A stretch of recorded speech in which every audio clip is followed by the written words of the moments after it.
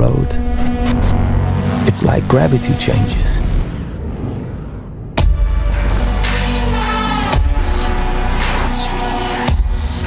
Everything outside suddenly slows down.